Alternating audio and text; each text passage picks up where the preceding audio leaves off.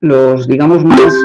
eh, protectores del neoliberalismo eh, están volviendo a traer el Estado como el elemento fundamental para articular una respuesta a la crisis. Em, personajes o gobiernos como el de Trump o, Francia, que se, han caracterizado hasta ahora por un liberalismo muy abierto, han vuelto a utilizar las herramientas del Estado. Esto es interesante porque nos debería de llevar a una serie de reflexiones en cuanto a que tal vez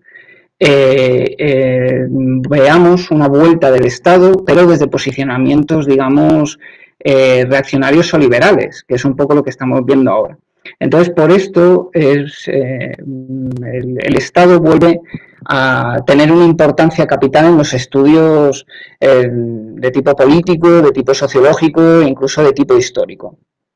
Por otro lado, lo que también se está viendo es un proceso eh, por el cual el campesinado vuelve a ser un sujeto interesante para las ciencias, para las ciencias sociales. Em, después de muchísimas décadas en las cuales el campesinado parecía ser eh, olvidado, vemos un resurgir de los estudios del campesinado en el cual eh, lo que se está rearticulando es la importancia que este sujeto histórico está teniendo en los nuevos procesos políticos y sociales. Eh, desde luego no voy a, eh, no, voy a mm, decir nada nuevo que no conozcan los colegas y las colegas de, Brasil. Eh, pero también esto se está viendo en, otros, en otras partes del mundo. Justo antes de la, del inicio de la crisis de la, COVID en España, teníamos precisamente una serie de protestas en el campo relacionado con eh, cómo se ha ido articulando el campesinado europeo en torno a la política de la Unión Europea. Y esto ha producido contradicciones que eh, justo antes de la crisis y que seguramente se retomarán después de cuando pasemos este estado de alarma, pues eh, lo que han surgido son diversas protestas de los campesinos en, el reino de, en el Reino de España. Todos estos movimientos recientes del campesinado lo que han hecho es eh, volver a mm, reactivar un interés por parte de las ciencias sociales y tenemos algunos ejemplos como los que pongo ahí a la izquierda del sociólogo holandés eh, Jan eh, van der Pleeg, que mm, de forma muy interesante y muy polémica lo que plantea es que frente a una visión tradicional en la cual el campesinado era un sujeto a ser superado, lo que tenemos es ahora que repensar el campesinado como aquel sujeto que posiblemente articule una respuesta económica a todos los problemas que hay actualmente eh, em, puestos encima de la mesa, como puede ser el, cambio, el cambio global. Por otra parte, otra vez como, como el conocido James eh, Scott, pues ha publicado recientemente también este, este libro en el cual vuelve a articular esta relación entre el Estado y el, campesinado en términos históricos. Y lo que plantea en este libro, aparte de muchas cosas, es eh, que el campesinado precisamente nace o está intrínsecamente relacionado con el surgimiento de los estados en, época antigua. lo plantea para los estados, los estados clásicos de Sumer y, Egipto, sobre todo. Bueno, pues un poco con estas reflexiones, con estas ideas, eh, es, eh, es, un poco lo que me ha llevado a eh, volver a pensar sobre esta relación entre el Estado y el campesinado. Como decía eh, Eduardo, mm, mi tesis doctoral trató sobre la arqueología de estas sociedades campesinas en el centro de la península ibérica en la Edad Media y eh, al final de, ese proceso de investigación, mm, una de las conclusiones a las que llegué es que no se podía entender este campesinado medieval si no lo articulábamos dentro de procesos políticos más amplios. Y eso me llevó a pensar eh, lo que es ahora el proyecto de investigación que, llevo a cabo desde hace tres años junto a, muchos compañeros y compañeras que, están aquí en, esta charla también, eh, en el cual la pregunta fundamental es la que planteo de abajo. Es decir, ¿cómo podemos analizar, en este caso, pues sobre todo de forma arqueológica, que es lo que me interesa sobre todo, a partir de la, de la cultura material o de la materialidad, las formas de adaptación y resistencia del campesinado a las transformaciones drásticas, lo que un bueno, un arqueólogo historiador estadounidense llama los moments of danger, es decir, momentos de mm, cambios bruscos en la política, en este caso en el Estado, y cómo las sociedades campesinas interactúan con esos, con esos procesos, con esos procesos políticos. Eh, Eduardo, de vez en cuando voy a mirar el móvil por si acaso no se oye o lo que sea, ¿vale? Aquí lo tengo. Vale. Em, entonces, una vez planteada esa pregunta de cómo se relaciona el Estado y, el campesinado, lo que nos llevó es a varios compañeros, entre otros pues Álvaro Carvajal, que, eh, con el que estoy trabajando muy estrechamente eh, para, este, para este tema, lo que empezamos a analizar es cómo se había abordado esta relación hasta el momento y sobre todo fijándonos en la Edad Media que era el interés que teníamos, pero que lo que queríamos era abarcar, digamos, un debate más amplio, que es el de la relación del Estado y el campesinado en periodos precapitalistas. Esto es un poco lo que nos, lo que nos interesaba. Entonces, eh, haciendo un análisis historiográfico, lo que llegamos es a la conclusión de que había, bueno, pues diversas, diversas formas de abordar este tema. Y eh, ahí la resumo en, digamos, cinco principales. Eh, la primera que pongo ahí, que es el negacionismo, básicamente lo que viene a decir es que el concepto de Estado no es útil antes del siglo, del siglo XVI. Mm, dicho de otro modo, el Estado es un concepto creado a partir de los procesos políticos que ocurren en el siglo XVI, sobre todo, bueno, pues de la, de la mano de pensadores como Wallerstein, ¿no? que hablan de este imperio, de este, de este nuevo eh, modelo eh, del Estado-mundo, en el cual se van articulando las relaciones eh, de producción de muchos países. Entonces, el Estado surge en este momento como, digamos, una característica de la, de la sociedad moderna. Eh, en este sentido también habría que mencionar eh, los debates alemanes sobre la que existe, que eh, básicamente lo que vienen a decir desde sobre todo un planteamiento de los análisis del derecho es que en época medieval, como estaban articuladas las relaciones a través del feudalismo, es decir, de relaciones personales, el Estado no tenía lugar. Había una una unión tan drástica entre lo público y lo privado que hasta que no se separan a partir del siglo XVI, pues no se puede hablar del Estado o el Estado no es útil para entender las sociedades campesinas precapitalistas.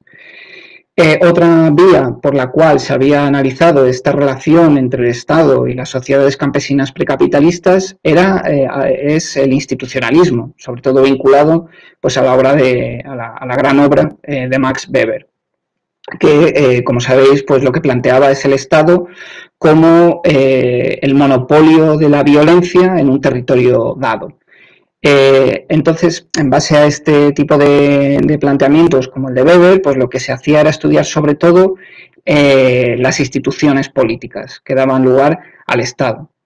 ¿vale? Eh, una tercera vía sería la del evolucionismo, que es eh, la tradición engeliana, que bueno, pues básicamente lo, básicamente lo que plantea es que desde las sociedades tradicionales hasta la actualidad, pues se van siguiendo distintas escalas de, complejidad política que dan lugar a un Estado, a partir eh, de la lucha de clases, en un momento en el que las clases se constituyen como tal, pues es necesario un Estado que posibilite eh, mm, la, dominación y la reproducción del sistema. Eh, otra vía para entender esta relación entre el Estado y el campesinado sería lo que se ha llamado el instrumentalismo, vinculado sobre todo pues, a figuras como la, del politólogo inglés eh, Ralph Miliband. Y lo que plantea el instrumentalismo es una idea muy interesante, que es que el Estado como aparato funciona para proteger los intereses de las clases eh, dominantes.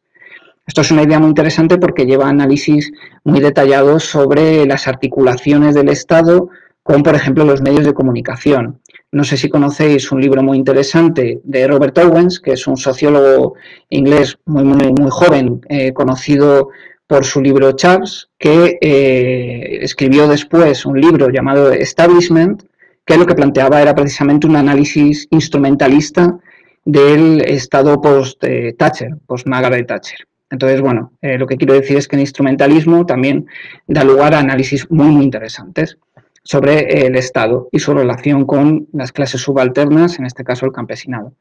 Y luego, más enfocado a la Edad Media, eh, muy interesante las aportaciones desde el marxismo británico, sobre todo de Haldon y de Chris Wickham.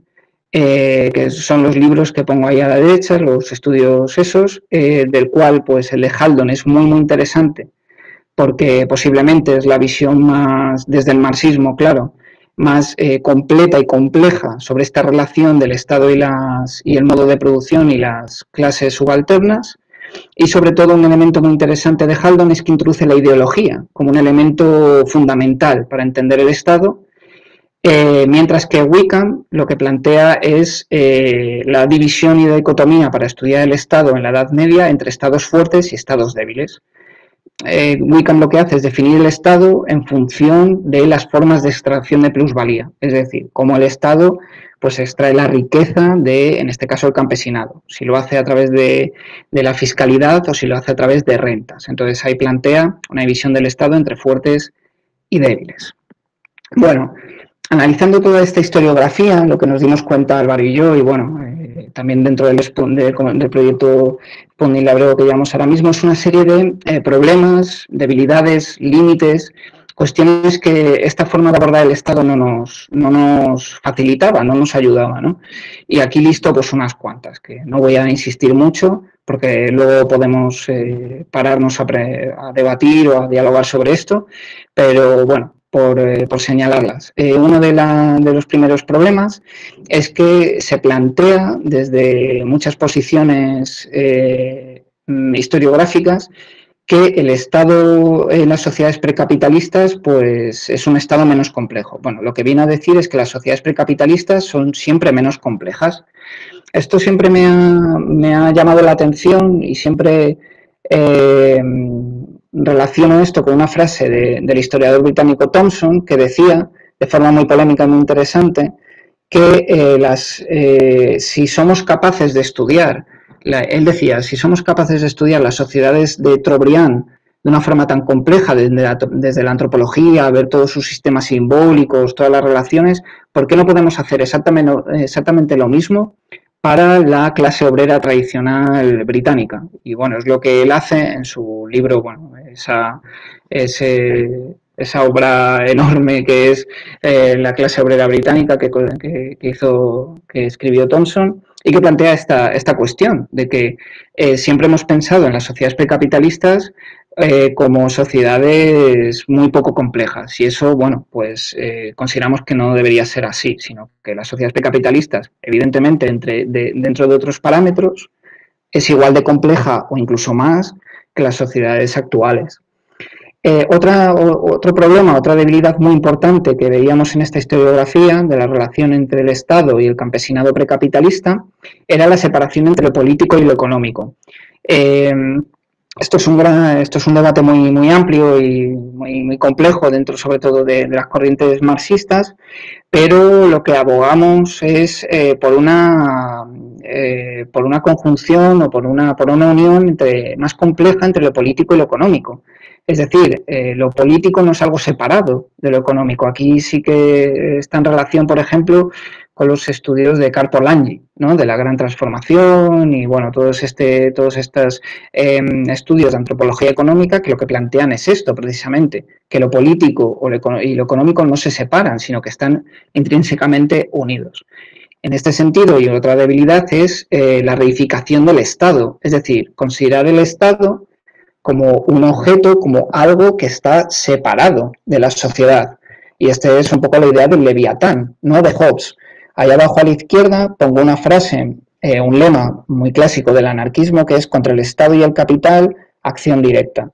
Claro, aquí lo que se plantea es la idea del Estado como eh, algo separado, como algo que no, que no tiene una personificación, ¿no? Eh, pero el Estado realmente, cuando hablamos de violencia del Estado, cuando hablamos de los aparatos del Estado, son personas y son relaciones sociales. Y esto eh, considerarlo, digamos, de otro modo, lo que hace es, de alguna manera, esencializar la idea del Estado y sobre todo de las relaciones políticas que tienen que, que están dentro del concepto del Estado.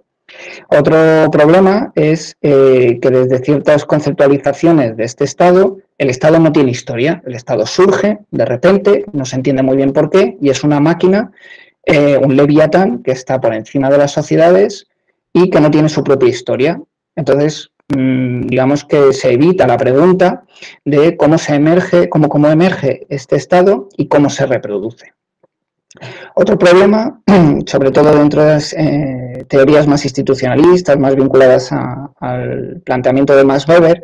es que el Estado se reduce a las instituciones, que en el caso de la Edad Media sería la monarquía. Es decir, cuando hablamos del Estado, hablamos de monarquía y ya está. Entonces, desde ahí, digamos que se desvincula eh, todo lo que el Estado interviene dentro de las relaciones sociales de producción y dentro de la, dominación, ¿no? en este caso del campesinado.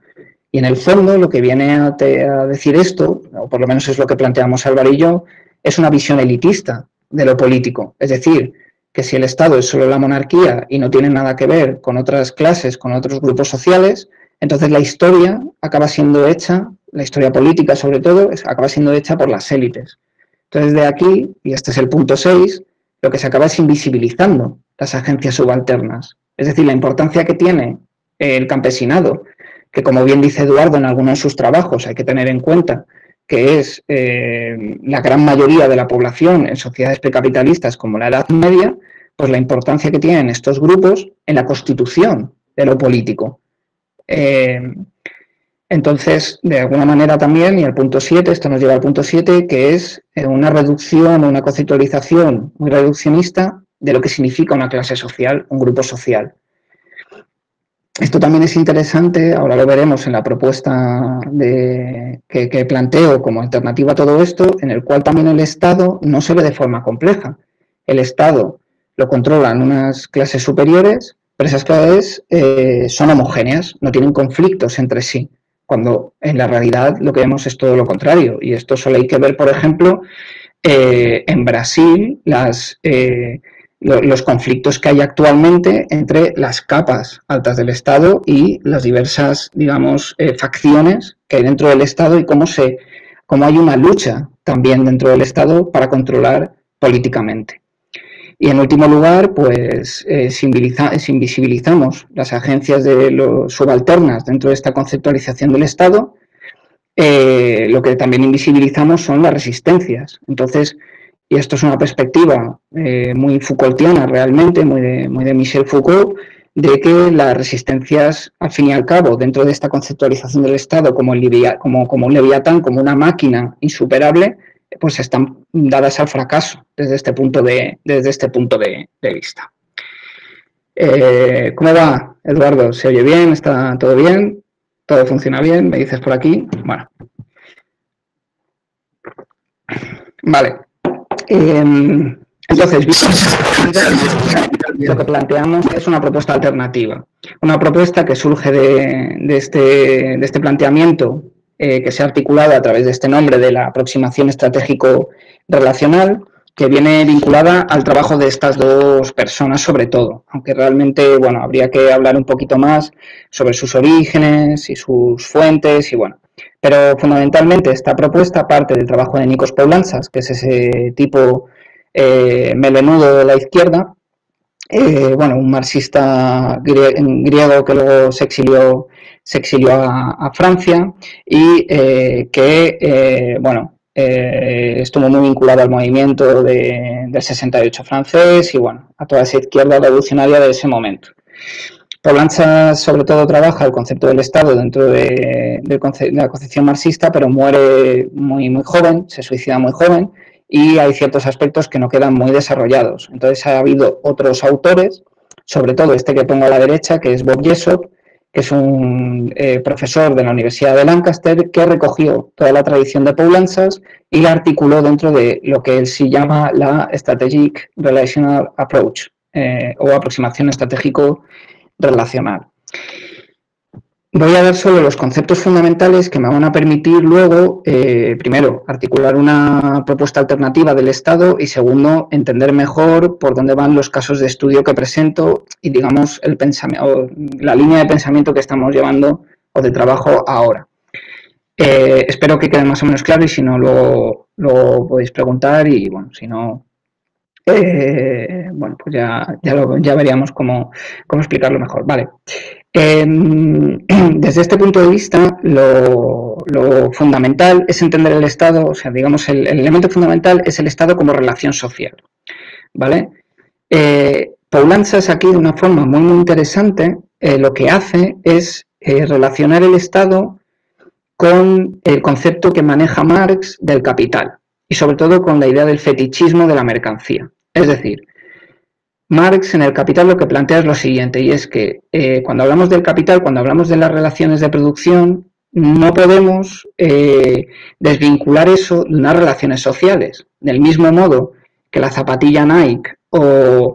eh, que el, ordenador o la computadora portátil de Apple lo que tiene detrás son relaciones sociales de explotación bajo el sistema capitalista en este caso, que es lo que analizaba Marx, pues Poulanzas de forma muy, muy, muy eh, acertada lo que hace es utilizar esta idea para el Estado. Y el Estado entonces ya no sería una máquina, eh, un leviatán, sino una relación social. Es decir, el Estado está constituido por diferentes personas, por diferentes intereses, por diferentes grupos sociales que se articulan en eso que llamamos Estado.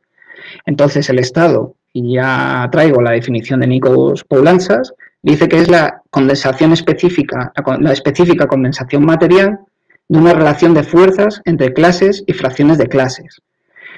Eh, entonces, partiendo de esta definición o esta idea del Estado como una relación social,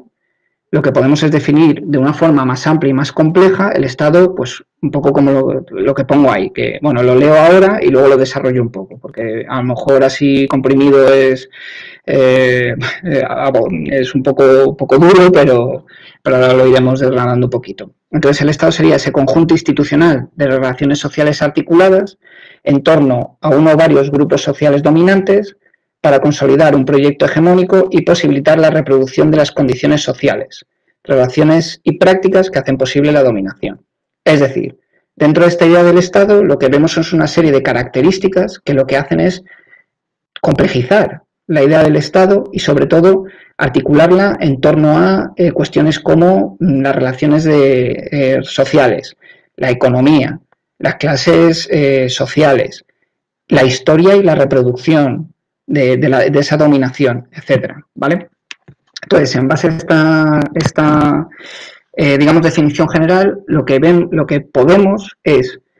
extraer diversas categorías y diversos conceptos que nos ayudan, o pensamos que nos ayudan a entender cuestiones como la relación del Estado, de la política en general, con respecto a las clases sociales y en este caso al campesinado. Ahí hay una serie de categorías que desarrolla sobre todo Bob Jessop en, en varios de sus últimos eh, libros, pero bueno, eh, que aquí traigo de forma muy simple para entender o tener las coordenadas desde las cuales eh, articular esta idea alternativa del Estado. Una de las ideas más interesantes o más, y más complejas al mismo tiempo es la idea de la necesidad contingente, que básicamente se basa en la idea de que es imposible determinar las formas en que el Estado efectivamente se constituye. Esto es interesante porque eh, nos, primero, lo que nos lleva es a eliminar o, eh, plantear una alternativa a los determinismos, digamos, reduccionistas, a los que, por ejemplo, son muy dados los análisis de tipo instrumentalista o de tipo evolucionista. Es decir, un Estado, si siempre, siempre, siempre eh, cuando se articulan las clases sociales se constituye de una manera determinada, pues mm, ahí, por ejemplo, no se explica por qué dentro de las sociedades capitalistas actuales hay estados tan diferentes como puede ser pues, el Brasil contemporáneo y la España contemporánea. Entonces, esta idea de la necesidad contingente lo que nos permite es, por un lado, articular como problema histórico el Estado. El Estado no surge de la nada, sino de un proceso histórico y también nos permite articular de forma mucho más compleja lo político y lo económico. Es decir, que, lo, que esta, este Estado, y esto es una idea eh, muy marxista, que evidentemente pues, conceptualizaciones liberales no aceptarían, que es, eh, digamos, de alguna manera la relación estrecha eh, que hay entre el modo de producción, las relaciones sociales de producción y el Estado. Por otro lado, otro concepto, este sí que desarrollado sobre todo por Nikos Poulanzas, es la idea de fracciones de clase y el bloque en el poder. Básicamente lo que viene a decir esto es lo que comentaba antes, que en, eh, la conceptualización del Estado lo que no podemos es entender que solo hay una clase dominante que no tiene relaciones dialécticas entre ellos y entre ellas eh, y no hay contradicciones. Eh, que el Estado no se constituye por una clase dominante, homogénea, sino que también hay divisiones de poder intereses distintos. Y esto lo que nos permite es entender el Estado como también una relación dialéctica. Esto, por ejemplo, explica por qué actualmente en el Estado español hay eh, una, una pugna dentro de las posiciones más socialdemócratas que puede representar el Partido Socialista y bueno, las posiciones, digamos, de una socialdemocracia avanzada como podía ser la de, la de, la de Podemos. Eh, más allá de los análisis que podemos hacer sobre las cuestiones concretas, eh, lo digo por los colegas de España que se estarán riendo ahora mismo de, este análisis, lo que es interesante de esta idea es que podemos hacer análisis más complejos sobre, sobre esas tensiones que existen en el Estado.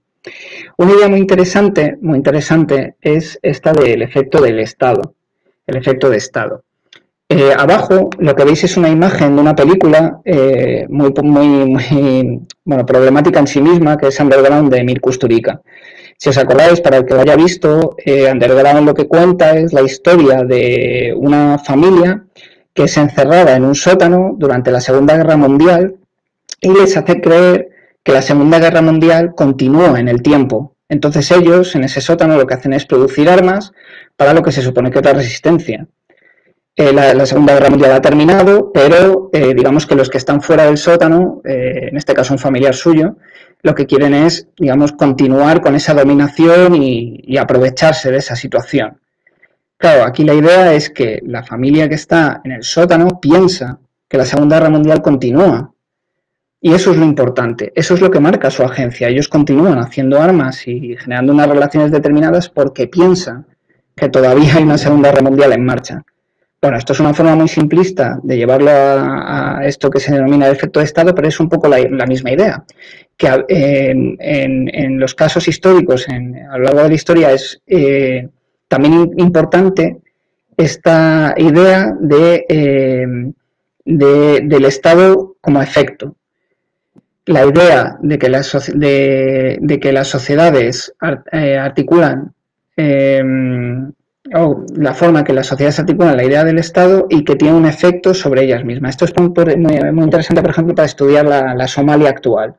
en la cual no existe un Estado, pero sí que hay efectos de Estado, hay eh, relaciones sociales como si hubiera ese Estado. Esto lo que nos permite, entre otras cosas, es la superación de lo político la, operación de la separación de lo político y de lo económico. Otra idea también eh, muy importante es la del proyecto hegemónico en el sentido de darle importancia al análisis de la ideología, eh, en, este, en el sentido sobre todo de Gramsci, de la hegemonía, en la cual no voy a entrar ahora porque si no nos llevaría, como decimos en España, por los cerros de Úbeda y no, y no aterrizaríamos nunca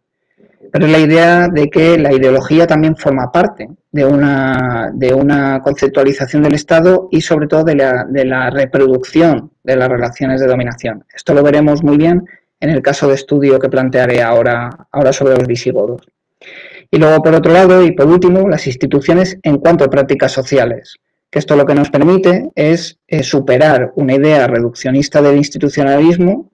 en la cual el Estado solo son instituciones, estas instituciones siempre se articulan de la misma manera, sino eh, que em, desde el planteamiento de la SRA, de la Strategic Relational Approach, estas instituciones se articulan a mediante prácticas sociales.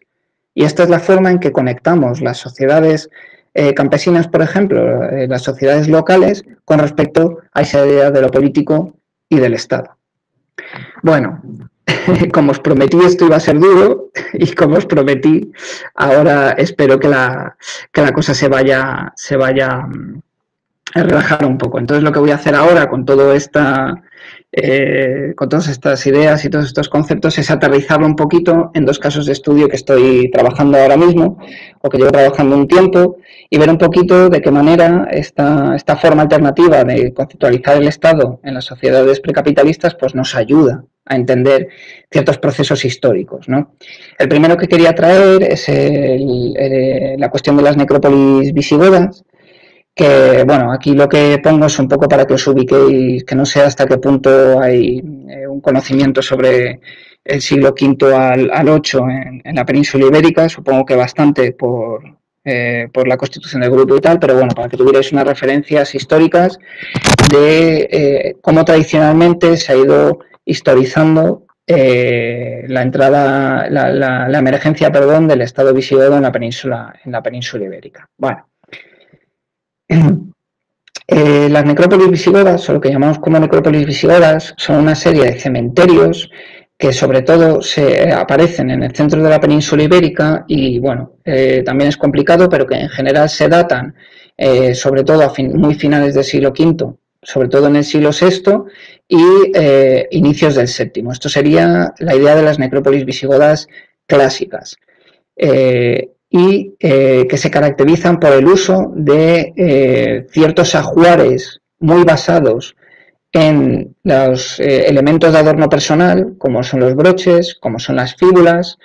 y como son las, las joyas. Pero sobre todo lo que ha caracterizado estas necrópolis son broches y fíbulas como las que, como las que pongo ahí. A la derecha tenéis una imagen de cómo es la idealización de estas, de estas necrópolis. La interpretación clásica que ha habido sobre estas necrópolis, sobre estos cementerios, es que representan de forma directa la entrada de los visigodos en la península ibérica y que gracias, de, forma alternativa, de forma contraria, lo que, eh, lo que se plantea es que cuando encontramos una necrópolis de esta, lo que estamos viendo es ese proceso de introducción militar de los visigodos en la península ibérica después de la derrota de la batalla de Bouillé en el 507, como sabéis, bueno, pues es el momento en el cual eh, los francos derrotan a los visigodos, se acaba el anterior estado de Tolosa, que era donde se habían articulado los visigodos, estos visigodos entran en la península ibérica. Bueno, estas necrópolis representarían ese proceso a través de estos objetos, ¿vale? Pero claro, luego cuando nos ponemos a ver en concreto estas necrópolis, lo que observamos son contradicciones un poco con, respecto a esta interpretación general de estas necrópolis. Por ejemplo, cuando nos ponemos a ver, a contabilizar el número de tumbas que efectivamente tienen este tipo de ajuar que nos vinculan con los visigodos, lo que vemos es que son una minoría absoluta dentro de, los, de las necrópolis. Entonces aquí, por ejemplo, lo que tengo es una tabla con eh, algunas de las necrópolis, digamos, visigodas tradicionales más clásicas. En, la, en el medio, el número de tumbas que tienen algún tipo de ajuar en el total de tumbas documentadas y a la derecha el número de tumbas que efectivamente tienen elementos que nos permiten vincular eh, a, ciertos personajes con los visigodos. Como vemos, pues eh, los tantos por ciento son muy, muy bajos. Entonces, dentro de una interpretación eh, en la cual estas necrópolis son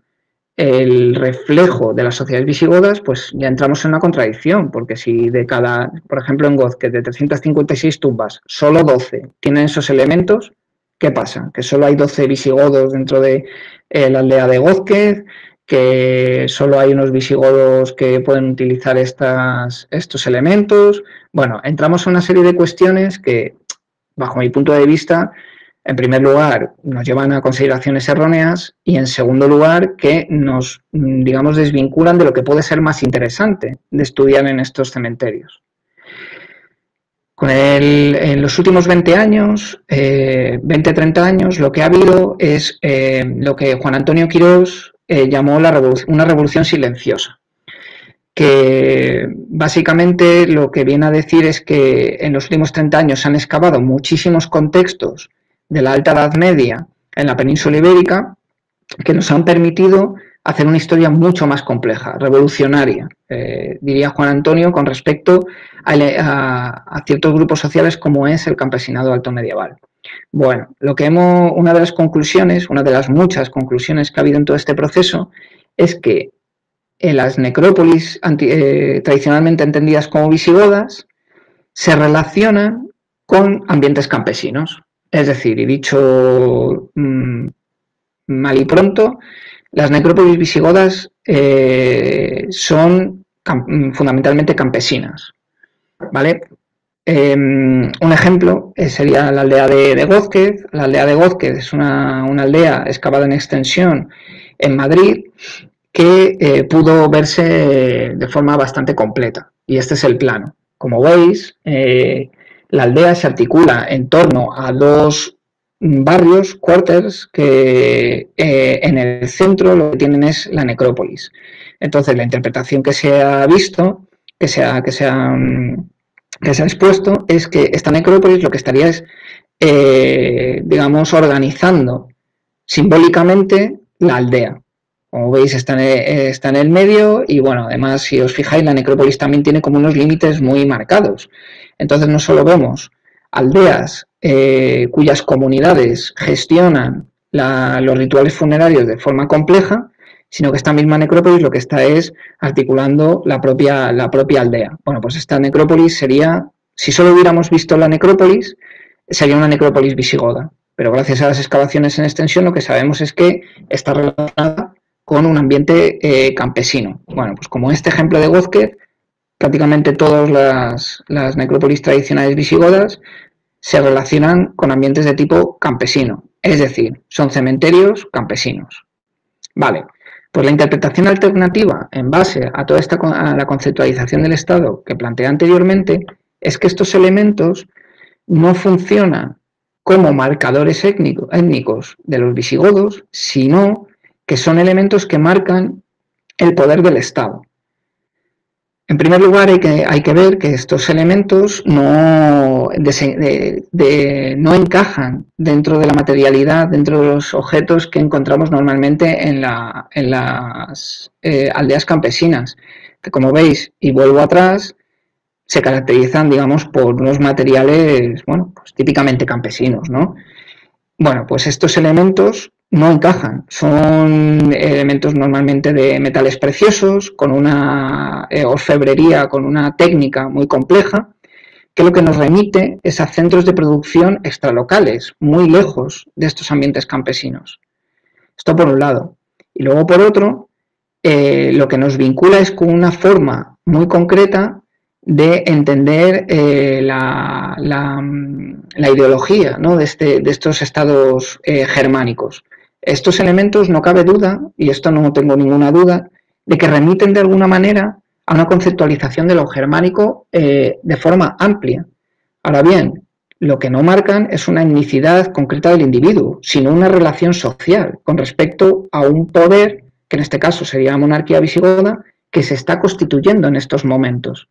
Entonces, la interpretación que hacemos sobre estos elementos es que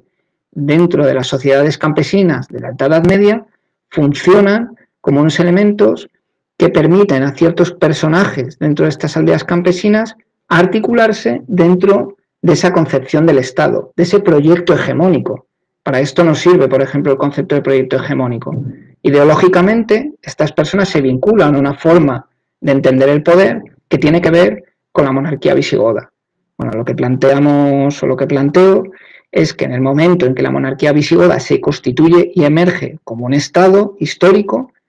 utiliza este tipo de elementos para introducir sus formas de dominación dentro de estas aldeas campesinas del siglo VI después de Cristo.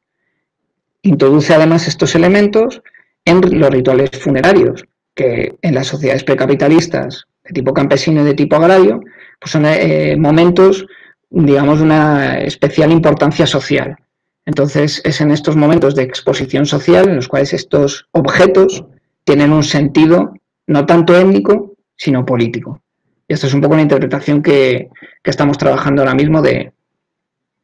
de este tipo de objetos arqueológicos.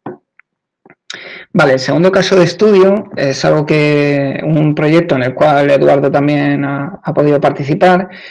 que tiene que ver con la guerrilla antifranquista y el fin de las sociedades campesinas tradicionales en el noroeste de la, península ibérica. Em, ahora tenemos que hacer un salto en el tiempo eh, a, la primera mitad del siglo XX, a la Guerra Civil Española, que se desarrolló entre el 36 y el 39. Eh, después de esta guerra civil y ya durante la guerra civil, fue muy importante en, España la articulación de eh, guerrillas eh, de guerrillas de tipo político. Y una de ellas, pues, es la que estamos estudiando arqueológicamente en una zona de Galicia que se, bueno, que está ubicada en una aldea, en un pueblo que se llama eh, Casallo, que es un poco lo que tenéis abajo a la derecha, un poco para que tengáis la imagen, la imagen del paisaje. Bueno, la idea o la hipótesis de partida de este proyecto, de este, de, esta, de este caso de estudio, es la idea de que en el caso de las sociedades del noroeste de la península ibérica, el fin de las sociedades campesinas tradicionales, con toda la problemática que tiene este término tradicional, que ya eh, considero que no es fácil de utilizar, pero bueno, por dar una idea general, tiene su momento final en este, en este momento. Es decir, que la guerrilla antifranquista sería, de alguna manera, eh, la respuesta de las sociedades campesinas ante la imposición de la modernidad, en este caso, a través del Estado fascista que eh, surge después de la guerra civil con el, con el franquismo. Allá a la derecha os pongo eh, un libro que lo que viene es a decir precisamente esta idea, que en el caso de la península ibérica en algunos de, los, de las guerrillas que se, que se dan después de la guerra civil, eh, la importancia que tiene el componente campesino dentro de estas guerrillas. Bueno, pues nosotros lo que queremos es ver un poco arqueológicamente cómo estudiar esta, este, este proceso de imposición de la modernidad a través de la figura del Estado y de la relación que estas sociedades campesinas tienen con el Estado franquista. Para eso lo que estamos estudiando son, bueno, poco por darle un toque literario, pues la historia de dos ciudades de Charles Dickens, que aquí eh, bajan o se, materializan en dos ciudades, ¿no? La ciudad de la selva, que es eh, como llamaron la guerrilla antifranquista a sus campamentos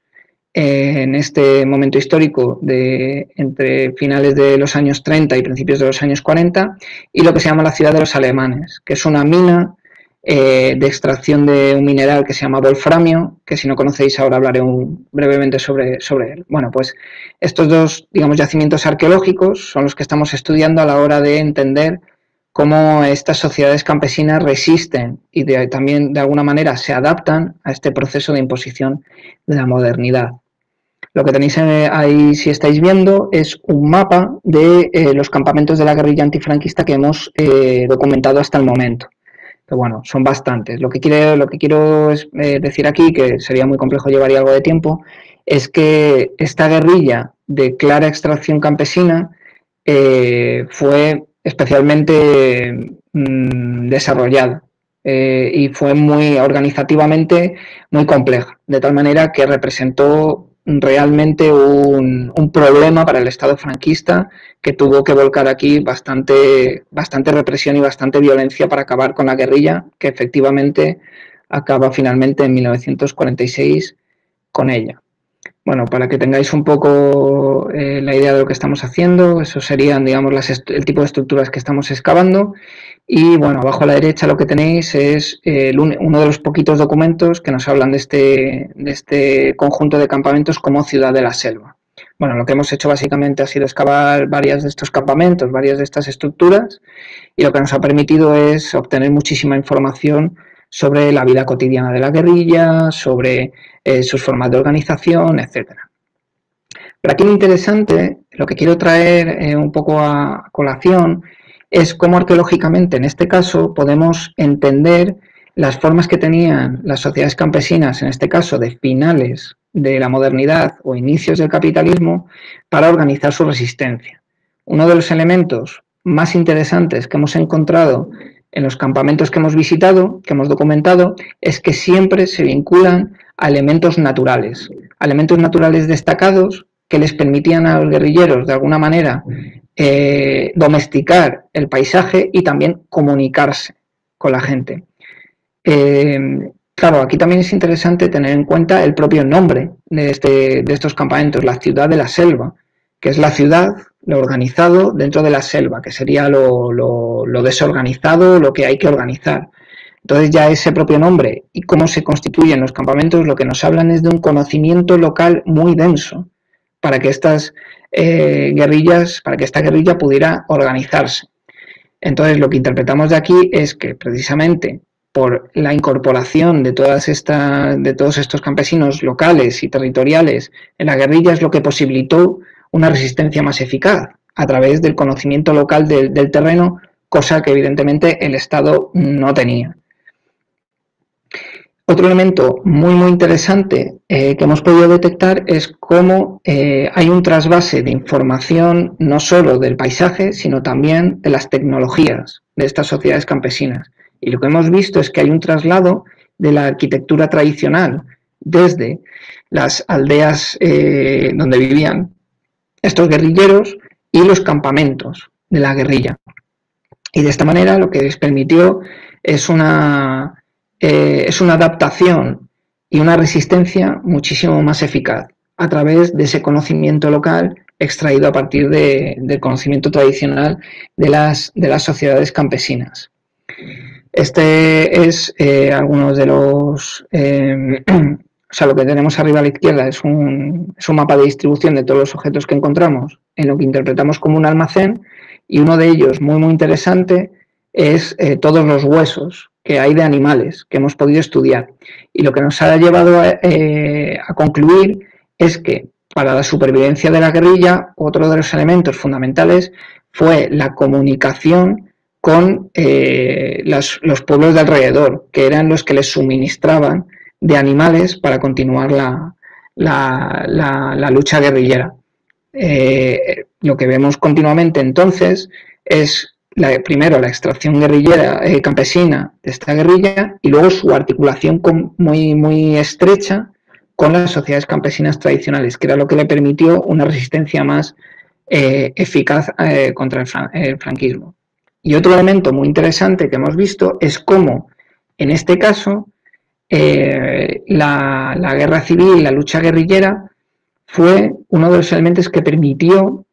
la entrada de ciertos elementos de la modernización y de la industrialización en sociedades campesinas. Abajo a la izquierda, por dar algún, solo una referencia, lo que tenemos son eh, pastas de dientes, que no sé muy bien cómo crema de dientes,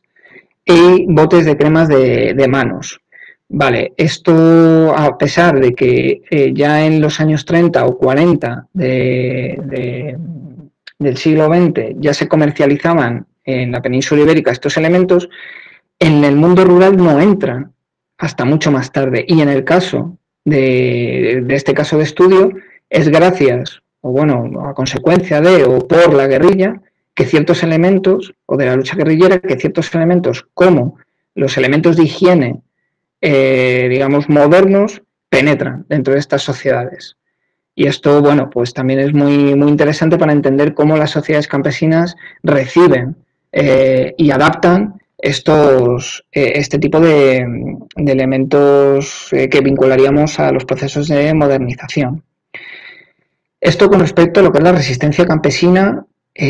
contra el franquismo, contra el Estado franquista, que por un lado lo que intentaba era no solo imponer o, digamos, reprimir esta resistencia, sino por otro lado imponer una forma de entender las estructuras agrarias del momento que esto es, lo que pensamos que era contra lo que luchaba realmente las sociedades campesinas de, este momento, no solo, pero también contra el Estado fascista franquista, sino contra una forma de entender eh, las estructuras agrarias. Paralelamente a estos momentos de resistencia, lo que vemos también es eh, un proceso de cómo se van introduciendo las relaciones eh, de producción capitalistas en estas sociedades. Y para esto, pues tenemos eh, algunos yacimientos excepcionales, como es esta mina de, Wolfram. El Wolfram, para el que no lo conozca, es un mineral que fue muy utilizado durante la Segunda Guerra Mundial para fortalecer las armas y los tanques. Y precisamente en esta zona que estamos estudiando es una de las zonas de mayor concentración de Wolfram del mundo. Y aquí instauraron, entre otras eh, minas, pues esta, que estaba gestionada por los nazis durante eh, el periodo de la Segunda Guerra Mundial. Bueno, eh, lo interesante o lo que quiero destacar aquí es cómo, en este caso, la mina de wolframio de Valvolat lo que introdujo fue la modernidad capitalista en el sentido de desarticular. Fue, digamos, el elemento que, que materializaba que simbolizaba esa desarticulación de las relaciones sociales campesinas tradicionales e introducía pues, los elementos que consideraríamos hoy día de la, modernidad. Eh, dos, dos, cosas breves y ya voy cerrando. Eh, una de ellas sería la, comparación de eh, las estructuras de habitación, las estructuras domésticas de los trabajadores de esta mina con respecto a no solo las aldeas que, en las que ellos y ellas vivían, sino también con respecto a otras minas. Y lo que observamos aquí son patrones que asociaríamos directamente con la modernidad, como simetría, como eh, estructuras eh, muy bien delimitadas, muy bien pensadas y que estaban, digamos,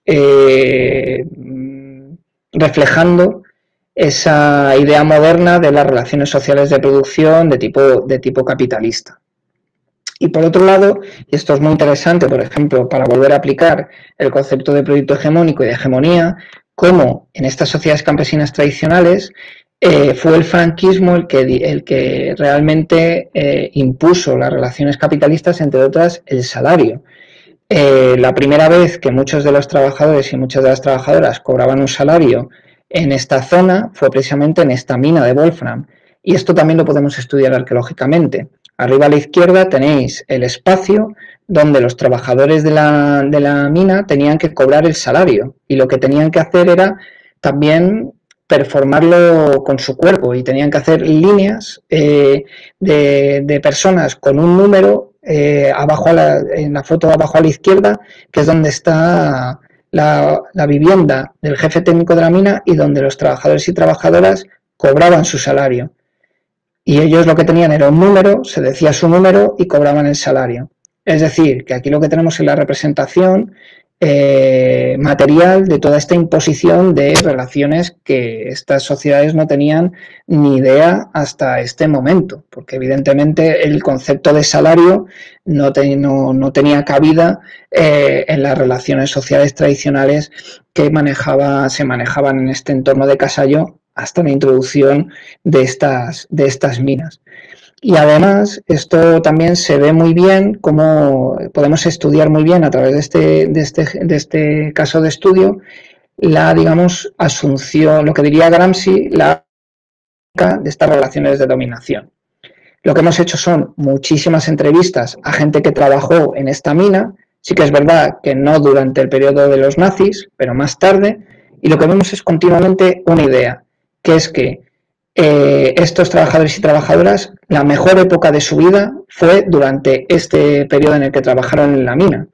Y lo que es interesante es constatar que a pesar de vivir relaciones de explotación y de dominación muy fuertes, ellos asumen de forma hegemónica, volvería a decir Gramsci, estas relaciones de dominación, porque ellos entendían que era un progreso con respecto a las relaciones tradicionales campesinas que el Estado franquista bien se encargó de desarticular y de eh, condenar como algo mm, del pasado y que tenía que ser superado a través, por ejemplo, de, cuestiones como el salario. Bueno, eh, creo que ha sido muchísimo, entonces voy a, ir cerrando aquí con una serie de preguntas, eh, pero antes lo que quería era traer también simbólicamente y también un consejo fílmico de una película eh, que sería Leviatán, de Andrei Tsiagintsev, bueno, en fin, mi ruso es como mi portugués casi, eh, que es una película que creo que simboliza muy bien lo que hemos, lo que he querido transmitir de, eh, con respecto a la idea del Estado, que es eh, esta idea de la fluidez de las relaciones que establecen las sociedades locales campesinas con respecto al Estado. Esta película trata sobre una persona que va a perder su casa y que intenta utilizar todos los medios que tiene a su alcance como es la como son el derecho, como es la, la, policía, etcétera, que son las herramientas del Estado, pero que al final se vuelven en su contra y al final acaban, bueno, eh, destruyendo su casa y lo que queda pues es este, este, este esqueleto de ballena simbolizando pues ese vacío de, las relaciones y de, y de, este, de este estado como, como Leviatán.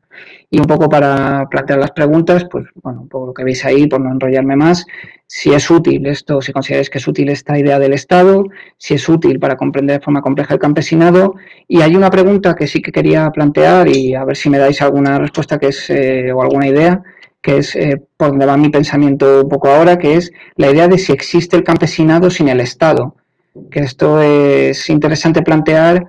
eh, por, por, ejemplo, para, entender, para pensar si en sociedades como la romana, eh, que de tipo imperialista, en la cual había más esclavo, había una, una sociedad esclavista más fuerte, eh, el campesinado como sujeto podía existir y nos es útil para entender este tipo de, de sociedades.